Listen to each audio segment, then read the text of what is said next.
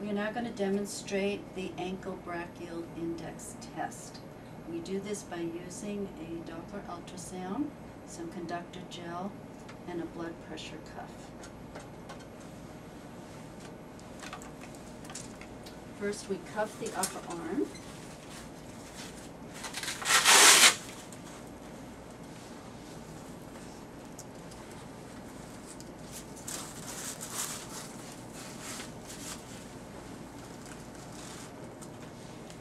Place some conductor gel right in the elbow.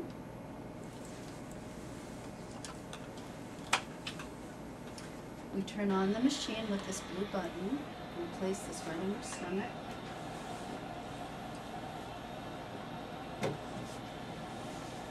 And then we're going to listen for the pulse. There it is. And to compress the cuff until we do not hear the beat anymore. We slowly decompress until we hear the beat start again.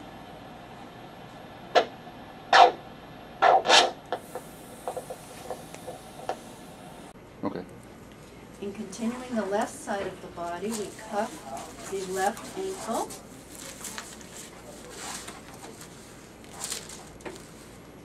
Place some conductor gel. At this point. And again, we listen for the pulse.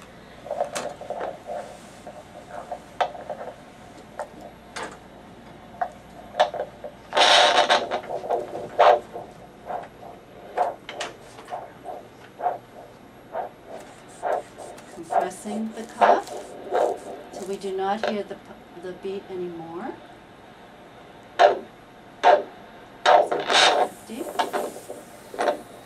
Decompress, turn off the machine. This is the sheet we use in this office. After noting, um, upon getting the reading from the measurement, we place the number on this sheet where it says left arm. We do the same thing with the ankle here.